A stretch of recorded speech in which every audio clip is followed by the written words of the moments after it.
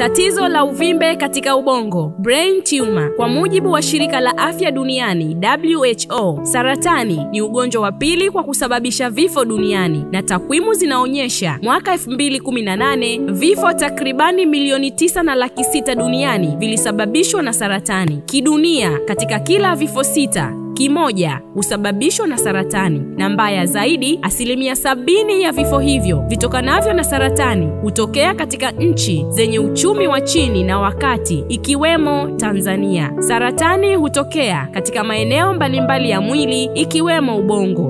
Uvimbe katika ubongo hutokea kutokana na kukua kwa seli zisizo za kawaida katika ubongo. Uvimbe katika ubongo unaweza kugawanyika katika makundi makuu mawili. Kundi la kwanza ni lenye viashiria vya saratani na usio na viashiria vya saratani. Kundi la pili ni uvimbe ambao umeanza kwenye ubongo au ule ulioanzia sehemu nyingine ya mwili, mfano mapafu, na kusambaa kwenda kwenye ubongo. Uvimbe katika ubongo ambao huanzia kwenye ubongo. Hii hutokea pindi seli za ubongo zinapopata hitilafu kwenye vinasaba, yani DNA mutation. Hitilafu hii huzifanya seli zizaliane na kukua kwa kasi isiyo ya kawaida, na hivyo kutengeneza uvimbe wa seli zilizo za kawaida, yani tumor. Wakati uvimbe katika ubongo ambao huanzia sehemu nyingine ya mwili ni ule ulioota maeneo mengine kama saratani ya mapafu, saratani ya matiti, saratani ya utumbo mpana, saratani ya ngozi yani milenoma, saratani ya figo, saratani ya tezi dume, saratani ya mayai ya uzazi ya mwanamke, ovarian cancer, saratani ya mji wa uzazi wa mwanamke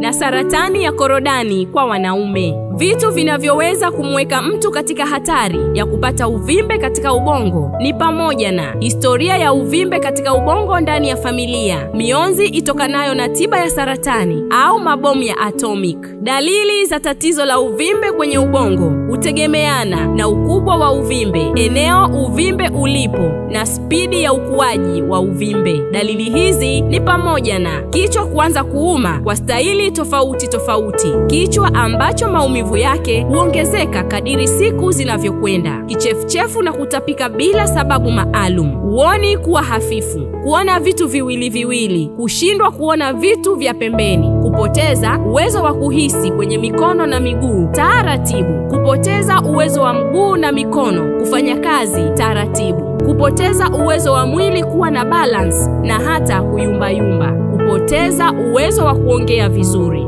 kuanza kuchanganyikiwa, mabadiliko ya tabia yasiyo ya kawaida, kupata degedege kwa mtu asiye na historia ya kuwa na tatizo hilo, pamoja na kupoteza uwezo wa kusikia. Tatizo la uvimbe katika ubongo linatibika kwa njia mbalimbali kulingana na aina ya uvimbe mtu alionao, ukubwa wa uvimbe, eneo ambalo uvimbe upo, afya ya mgonjwa kwa ujumla, na hata mgonjwa anapendelea nini. Njia hizi za matibabu ni pamoja na upasuaji. Hii hufanyika iwapo uvimbe upo katika eneo ambalo linaweza kutolewa bila kuathiri maeneo mengine ya ubongo. Tiba ya pili ni ya mionzi. Hii hutumia mionzi kuua seli za uvimbe. Matibabu ya tatu ni upasuaji kwa kutumia mionzi, yaani radio surgery. Njia hii ni ya kisasa kabisa, ambapo upasuaji hufanyika kwa kutumia mionzi bila kukata eneo lolote la mwili. Matibabu ya nne ni kwa kutumia dawa, yaani chemotherapy. Hii hutumia dawa ambazo zina uwezo wa kuua seli za kansa. Matibabu ya tano ni targeted drug therapy. Matibabu haya ni matibabu ya kutumia dawa zenye uwezo wa kuathiri protini maalum zinazohusika na ukuaji wa kansa.